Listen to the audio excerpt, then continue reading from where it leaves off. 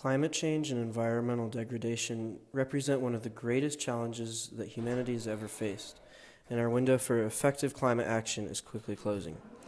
In a complex interdependent system that makes up the biosphere and the human operating system, there are many leverage points to affect positive or negative change.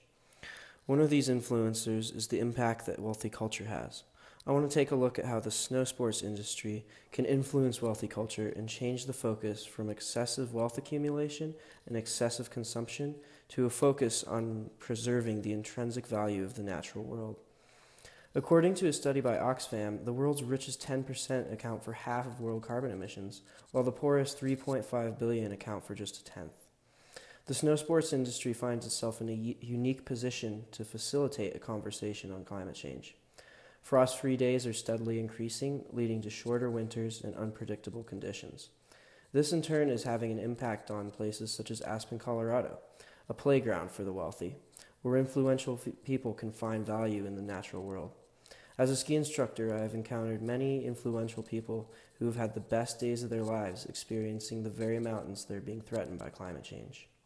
The organization Protect Our Winters has a similar view on how the snow sports industry can promote equity, economic, and environmental action through the perspectives and relationships to wealthy culture.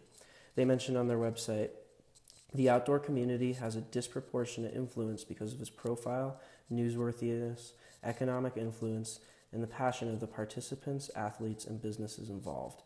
We are uniquely suited to drive a broad movement in support of climate action, and our success stems from our ability to effectively mobilize the outdoor community through socially relevant communications.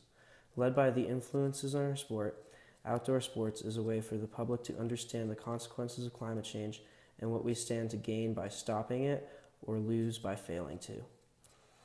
The influence of having these conversations in a mountain environment setting can be a great way to change minds and begin the transition wealthy social norms from excessive consumption to responsible consumption, from excessive wealth accumulation to socially responsible investing, philanthropy, and social shareholder action.